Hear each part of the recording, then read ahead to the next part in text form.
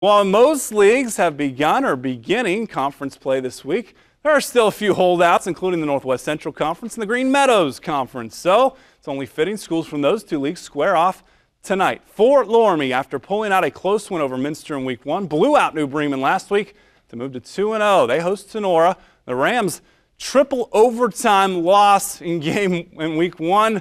They bounced back with a win last week. Good one down in Fort Loramie as we head to the fort and the kids crashing through the sun. Tinora gets it first and they keep it for a while. Redskins Zach Brandowy, big hit here, but the drive would continue with Brennan Brevin Renolette to Derek Dravis, four yards on the pickup. Then on third and six, Renolette finds Kirk Colley.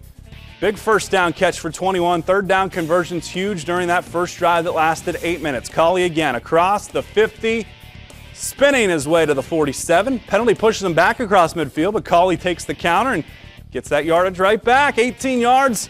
And it's Tinora first down. Redskin D again stiffens. Daniel Zimmerman. Coverage sack. He'll take it. But another big third down conversion. Dravis keeps it or gets it down at the 20, first down. A couple plays later, third and four. Garrett Eilerman stopping the Rams, so forces them to go for it on fourth and two. And Riley Noggle comes up with a tough run.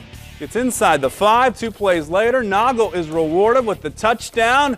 Tinora goes on the road, gets some nice playoff points, albeit Division 7, but it's against the Fort Loramie team that's probably going to rack up some wins this year. Final score has Tinora winning 35